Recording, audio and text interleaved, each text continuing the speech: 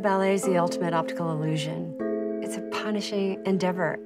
They make effort appear effortless. When you see these creatures dance, it's spectacular. You have no idea how fierce what they do is. We're digging into the psychology and the personal lives of the people involved.